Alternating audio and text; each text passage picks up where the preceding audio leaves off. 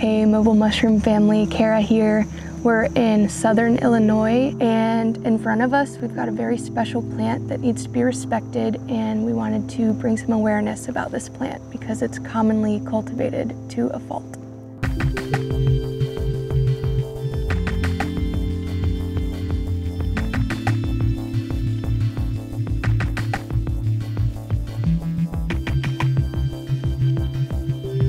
Right now I am joined by my film crew, Wiley and Mabel over here. They're uh, moral support for now. And of course, Benji is behind the camera helping us out here. So here we have American ginseng. The Latin name for this is Panax quinquefolius. You'll find this plant in the summer to fall season and it likes to grow in shaded areas as you see here and they typically favor north facing hillsides because they like cooler temperatures, so less sun basically. Uh, you'll find them usually where there's not a lot of undergrowth because undergrowth typically means there's enough sunlight for small trees to grow larger. So they'll be more around ferns and mossy areas. Um, and I wanted to go ahead and tell you about this plant because this plant has been cultivated for centuries for its root because it has medicinal properties. So we've got these two plants right here in front of us, and then there's also four or five plants just a couple yards up the hill. So there's American ginseng and there's also Asian ginseng. Asian ginseng has a different chemical makeup, so they don't provide exactly the same medicinal qualities, but they each provide a couple different medicinal qualities.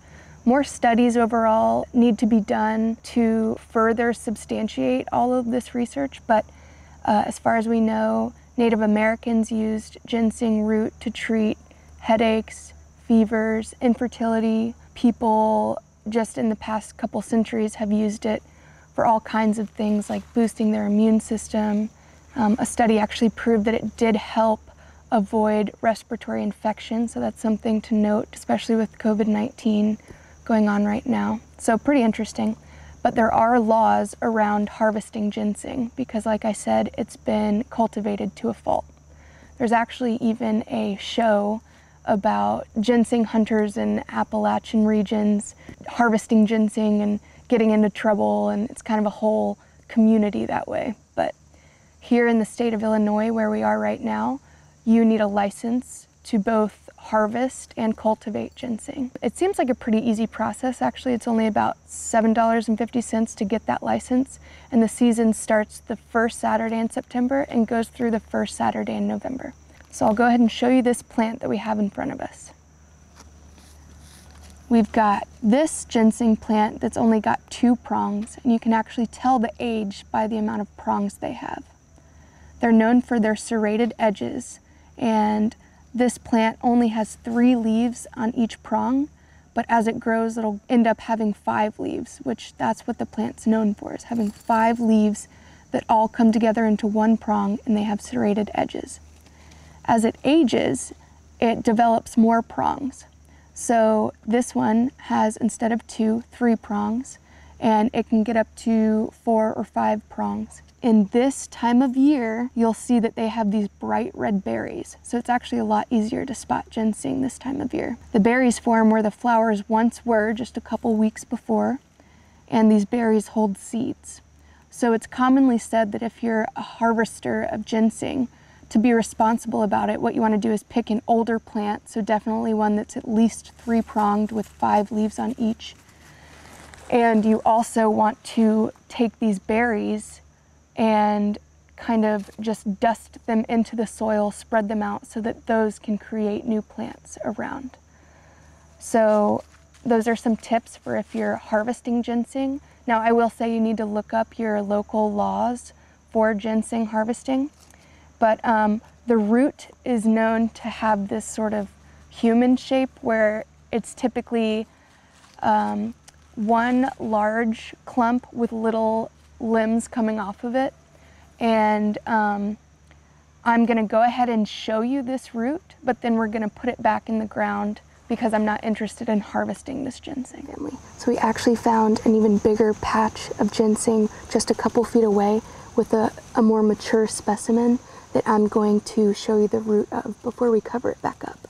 You can tell this specimen is more mature than the one we were looking at before because on each of its three prongs it has the full five leaves and they're a good size. So we can tell that this is even older than the one we were looking at before.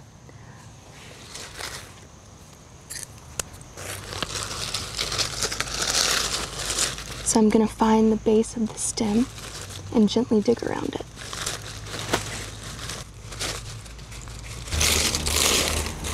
Okay, so now we're going to show you a close-up of the root.